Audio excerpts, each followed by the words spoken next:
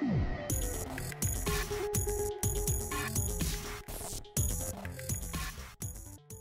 Hey everyone, Steven here, and today I'm finally getting around to my review of the Razer Nari Ultimate headset, and as with all of my headset and mic reviews, I will be using the microphone the whole time, with no edits in post outside of adjusting gain to make sure that the levels are all even, but that does mean that you may hear the occasional popping or background noise, but I just don't like the small samples that other reviewers do. I want to make sure that I give you as much time hearing what the microphone sounds like as possible during this video. Now, this headset launched in September of 2018 for $200 and is no longer currently listed on, Razer's US site for what I've been able to find, although you can find it on the New Zealand version of the site for $384, which is a crazy price to pay for this. I do want to point out that you could get this on Amazon right now, and there are usually discounts though. So, a lot of times we're finding this about half price off it does beg the question is this five year old headset worth it, even with the discounts now? To me, the short answer is going to be yes, because I think this is a solid product with a lot of really cool features. But before I go any further down this path, let's cover the specs and the software. The Razer Nari Ultimate has 50mm neodymium drivers with a frequency response of 20 Hz to 20 kHz, 32 ohm impedance, a sensitivity level of 170 decibels plus or minus 3 decibels, and 7.1 surround sound using THX spatial audio. The retractable microphone is a unidirectional ECM boom mic with a frequency response of 100 Hz to 6.5 kHz and a sensitivity of negative 42 decibels plus or minus 3 decibels. Battery life is 8 hours with the lighting turned on, the lighting here can be found on the outside of the ear cups illuminating the Razer logo, and then you can get up to 20 hours of battery life without any lighting on. For connection types, you have a wireless receiver that is USB Type A that conveniently stores on the right ear cup, or you can connect this via a 3.5 millimeter headphone jack. One of the main draws of this headset is the haptic feedback or Hypersense as Razer calls it, and they don't have any specific info listed on the mechanics behind this, unfortunately. Looking at the physical features, this has a unibody aluminum frame, auto adjusting headband with swiveling ear cups, gel infused cushions, and a high density foam with plush leatherette which all of this is going to come in handy because the headset weighs 432 grams, which is 0.95 pounds. So almost a full pound on your head here. On the left ear cup, you will find the auxiliary input, micro USB charging port. This being a little bit older, we don't have USB Type C here. The power button, the power LED light, the game slash chat balance scroll wheel, and the mute button. On the right ear cup, you have the opening to store the USB receiver and the volume scroll wheel, and that's it. For compatibility, you can connect this to any PC via the USB dongle or the headphone jack. For consoles, this will work with an Xbox One, and then it should work with an Xbox One X. I don't have that to test it, but for an Xbox Series X, I actually could only use the headphone jack. I can't get this to connect wirelessly, whether that's through Bluetooth or the USB wireless adapter for whatever reason. I spent a couple hours trying to do this, looked at everything online. I tried using the Razer app on the Xbox and then I actually went back to the PC, and then there's a pairing utility that you can do. I did that, so you're pairing the headset to the USB wireless adapter, hoping that would fix it essentially it's just not going to work from what I've been able to find. You're going to need to use the headphone jack with an Xbox Series X. Oddly enough, you can use the USB receiver with a PlayStation 5 though, and with the PlayStation you have access to their 3D audio and everything sounds and performs really well on the PlayStation 5. I don't have a PlayStation 4 to test this with, but regardless, for all of the consoles, you're only going to get the static light cycle effect with this from what Razer is saying. and then you're going to get the 2.0 stereo. You don't get surround sound. PlayStation being a little bit different because their 3D audio, when you utilize that, basically it's surround sound. So you do, like I said, have access to that. But anything else where you're just plugging a headphone jack into, you don't have any surround sound. It's just 2.0 stereo, and then again, you have the static cycling light effect here. What was a little bit odd about this is that I set the lighting on the PC to be off. So by default, it was off when I tried to use it with any other device like a console or something like that. I went back, turned it on, and then it stuck with that lighting effect. So although they are saying, hey, you just get this static light cycling effect, I think if you have a PC, you can change that and then it will remember that and keep it if you're going to go over to another device. Now that I've covered the specs and the physical features and connection options, let's go ahead and shift over now to the software. Inside of the software, you have your devices lined up here. We're already set up. The first tab is the sound tab, and here you have spatialization modes. With this, we have stereo, surround sound, and game mode. By default, it wants to be in stereo mode. I'll come in here, turn on surround sound. You get to dictate what program is going to use what. You just need to spend a little bit of time setting that up. We'll look at that here in a second.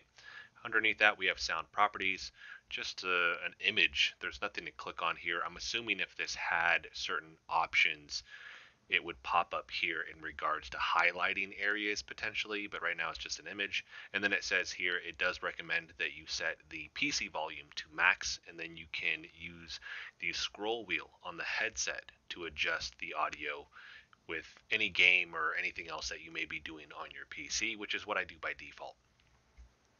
Next, you have the mixer tab.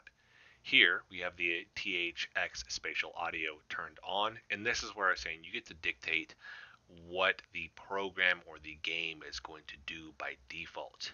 With this, depending on the game, if it has the option, it'll pop up here for the different game modes. I have Cyberpunk and Doom Eternal with the THX environmental mode. Again, setting these things as default, you get to calibrate this if you want to. In terms of overall calibration for the 7.1 surround sound, you get to shift these within their little zone. I don't want to click on this right now because it's actually going to do a test. So as you're moving this, it's playing audio in real time so you get to hear how that is affecting the audio as you're moving this, which is really, really cool. But you get to shift these wherever you want, set them up how you see fit. Next, after that, we have the enhancement tab. Here, first one, we have bass boost. I have this turned on 52%. So we have low and high. That's going to go from 0 to 100%. Underneath that is sound normalization. So with this, we click on the information tab, normalizes the loudness of audio played to avoid sudden and unpleasant increase in volume from, from effects such as explosions. That comes into play because that will affect the haptics here and the intensity with that. After that, we have a voice clarity. With this, improves the quality of incoming voice from communication applications. So I have that turned up a little bit. And then haptic intensity. The reason I have this turned off is as I'm trying to record for this review, any noise that's being played back, it's actually doing the haptics, and I don't really need that for me just listening to my voice, right? So as I'm monitoring and things like that, it ends up actually affecting the audio. So if I'm trying to record my voice and there is background music and it's doing the haptics, that does affect the microphone. You will hear the rumble and the vibration. So do keep that in mind. Scaling the haptics here, though, is something you're most likely going to want to do because high is very intense. And so with this, I have mine at 60%.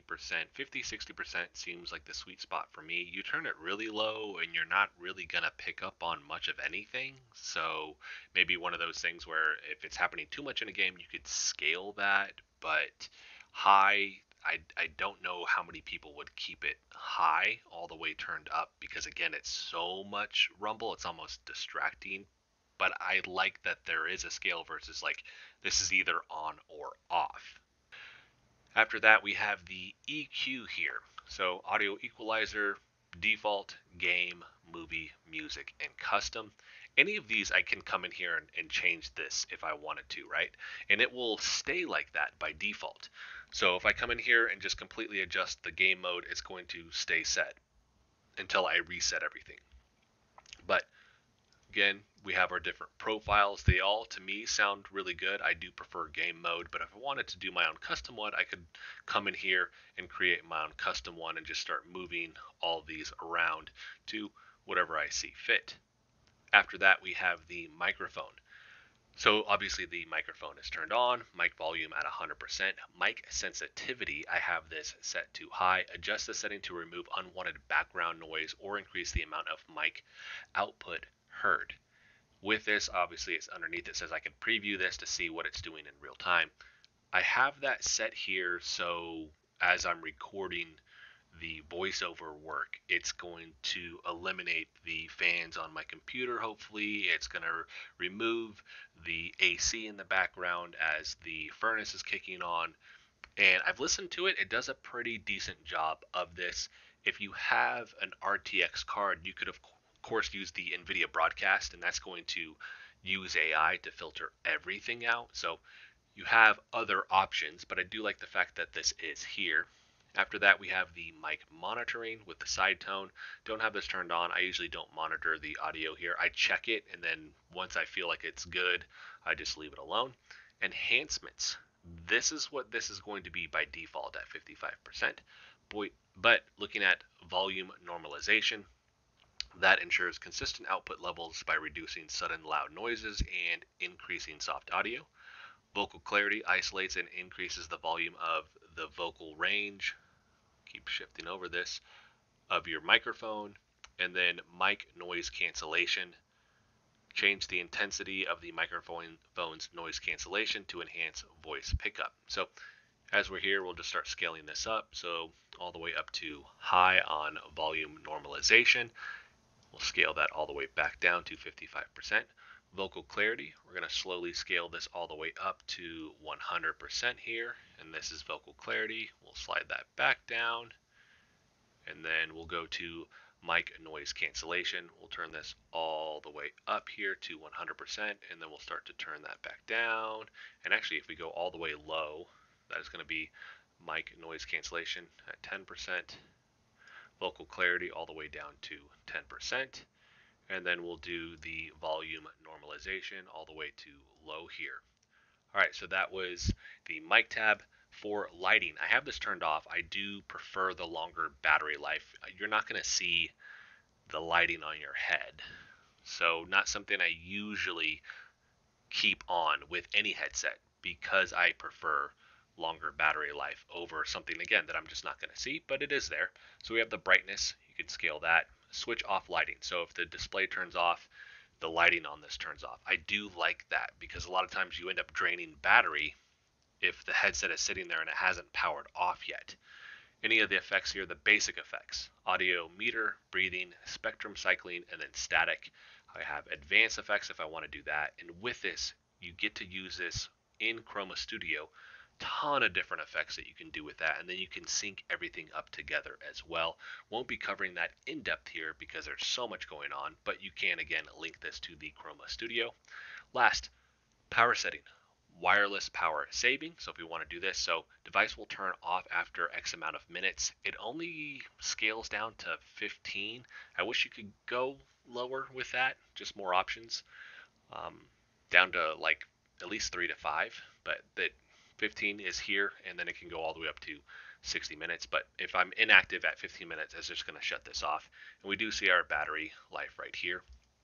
As I hover over it, though, it doesn't give an indication on that.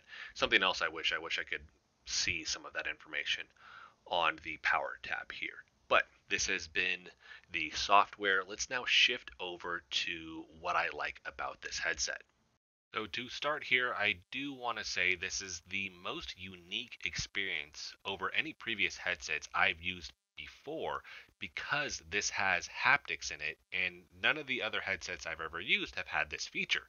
The closest thing I can compare this to is being in a really loud movie or maybe like a 3D ride where you're feeling the vibration from the sound but with this, it's more isolated to your ears.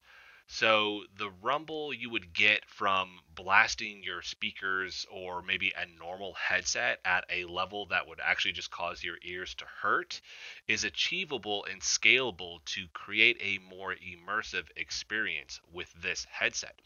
Personally, I really like this. It's something I don't know that everyone will like, but for those who do, I think this is going to be another cool feature to explore. I do feel like haptics started taking off more with VR and it's still there, but it's not expanding as much as I figured it would be at this point. It seems like it was really starting to take off and then kind of hit a plateau and you just don't hear about it as much anymore. And with this launching in 2018, that's kind of the beginning of when I remember everything starting to uptick with just seeing more devices that were utilizing haptics to make VR specifically a more immersive experience. Now, if you don't want the haptics on, you can turn this off, of course, and this headset still has solid specs, so you're going to get great audio quality with this. The microphone, not so much. It is very tinny with this, but I'll talk about that more in a little bit. But you have plenty of options with this, similar to a lot of the other Razer headsets you would find in their various lineups, but other brands may lack some of the features that you do find in the software specifically with this. But that also is going to be very specific to PC. You don't get all of these features when it comes to consoles. So if you play consoles exclusively, I wouldn't recommend getting this. They have like console specific headsets geared towards Xbox, for instance, that I would say, hey, get that version because you're going to get more features out of it than you would this one. In fact, there is a version of this headset that is geared towards the Xbox. I'm going to talk about that more here in a little bit in the bad section because there's stuff with that that I don't particularly like, but you do have those options, so be very mindful of that. But in regards to the haptics, this is a very cool feature. I personally, like I said, really like this, and I do like the fact that they are allowing you to scale it. It's just a different level of immersion when it comes to games and the audio. I like all the other tweaks to the audio that you can do, and in terms of the THX spatial audio, great feature. You get that with other headsets, but being integrated here, the environmental mode, the game mode, it just has really good audio when it comes to your games. The adjustments again in the software with the bass and things like that, the different profiles for the sound that you can either create yourself or that they have for the presets, they all sound really good. So, that's all the really good stuff. In terms of performance, there with the audio, top notch. In terms of the haptics, very unique experience. But again, it's one of those you may or may not like it. I would definitely recommend if you have the option to test it out, definitely test it out first because you're going to hate to get this thing and be like, I don't like this at all. But with that all being covered, that's the good side here. Let's now shift over to the downside, the negatives, the stuff that I don't like about this. I'm going to start with the microphone here. Nothing against Razer specifically in this headset. I've just never found a microphone on a headset that's just top notch. There are some that are better than others. In regards to this one, it is definitely very tinny sounding. It just sounds like you're far away. If I bring this too close to my mouth, you're getting more popping. There is no wind screen on this, so there's not a ton of protection there. I do like the fact that it is retractable. That is very nice, but uh, the performance is just lacking, even with the adjustments in the software. With those adjustments in the software, I've been able to make the sound a little bit better, but I have noticed that anytime I'm talking, you're gonna hear this. I don't know, it sounds like an electrical noise. It sounds like I mean, literally like electricity or static electricity. There's just a noise here. If I pause for a second, you don't hear the noise anymore for whatever reason, I haven't been able to get this to go away. So let's go ahead and filter that out now so you could hear what would this sound like if it wasn't there. So in Premiere Pro, I'm going to use adaptive noise reduction right now. And so now you would hear, oh, the audio is a little bit cleaner. For anybody that has other software options like NVIDIA Broadcast, you could utilize that with an NVIDIA GPU as long as it is an RTX card. It will filter out a lot of noise, it will clean up the audio for you beyond just the Razer software, and that will make the sound better. But just kind of out of the box, I haven't been too impressed with this.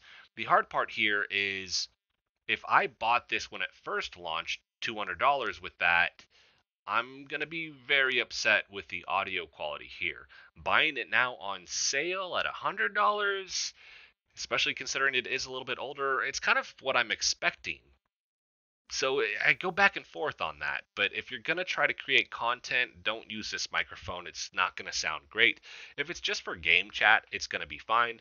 Just spend a little bit of time tr- trying to tweak the audio, maybe thinking about other software options to clean that up. The last major negative that I have with this, it's a complaint against what Razer does, but also what other brands do, which is like, hey, this one is designed for PC and Xbox. This one is just designed for PC. This one is just designed for Xbox. This one's just designed for the PlayStation.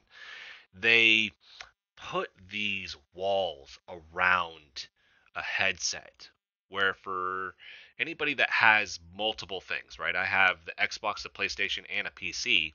If I really want this to work on the Xbox, I'm going to have to buy the Xbox specific headset. So I'm going to have to pour out more money.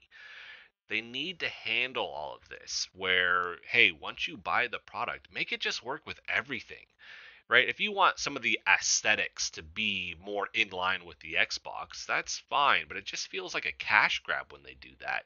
And I know some of that may be like audio codecs are different on a PlayStation versus an Xbox and things like that. I, I get part of that.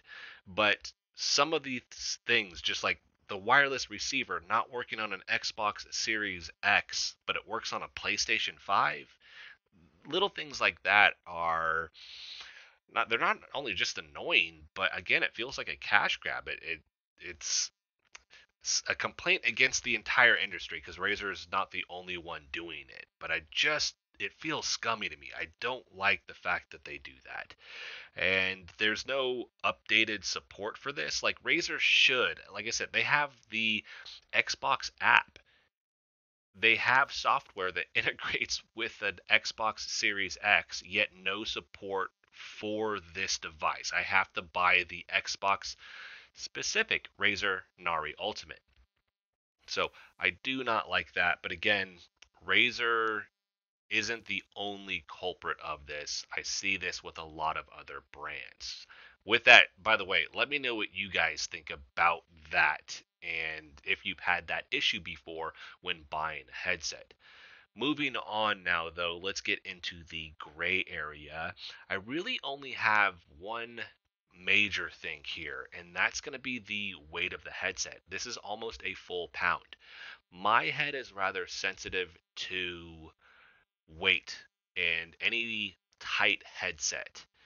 With this, they have added a good amount of cushion to the ear cuffs. You have the cooling on that, so I will give them credit with the cooling gel or whatever the material is because my ears don't get nearly as hot with this headset as it does with other headsets. So I do like that feature. I do like the adjustable headband here. It feels really good on my head, but at the end of the day, this is still almost a full pound on my head compared to the regular Philips wired headset that I use, which I don't even feel at all because it's so light. This, at about the hour mark, I, it just starts to wear on my head. I want everybody to be mindful of the weight here, but I know that isn't an issue for everybody. So a lot of people may not care that it's the full pound and may feel very comfortable comfortable for them and, and not be an issue at all. If you are sensitive, like I am, and you don't like a lot of pressure or weight on your head, I would want you to be mindful of that before you purchase this because it may not be to your liking. So that's going to be it for this video. Overall, you have the pros and you have the cons here. Great audio, incredible feature with the haptics. You have cool aesthetics, a lot of options in the app. I do like like subtle things like the fact that the ear cuffs swivel Not every headset does that, but it does make it easy to just rest this across your neck. You do have the lighting on there. Again, the cushions and then the gel liner on that all feel really good. So, tons of positives with this. A mediocre at best microphone, not really something you should just be like, hey, I got to get it for the microphone. That shouldn't be a main draw.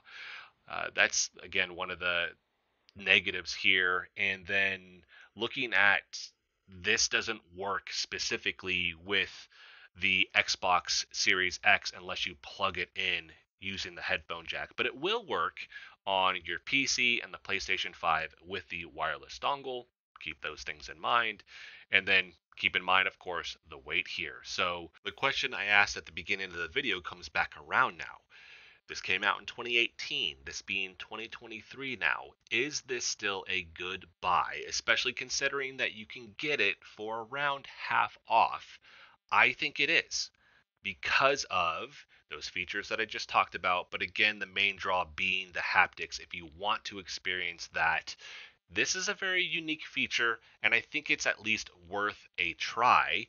And the price point here, it earns a $100 price point, in my opinion. I wouldn't pay $200 for this, but the $100 I definitely would. So that's going to be it for this one, everybody. Let me know what you think about this headset in the comment section. If you have any questions about this, let me know in the comment section as well. I will have a link for this in the description if you want to pick it up. If you like the video, hit the like button for me as it helps the channel out. If you want to continue to follow along with all my content, hit the subscribe button for me. And as always, thanks so much for watching, and I'll see you in the next video.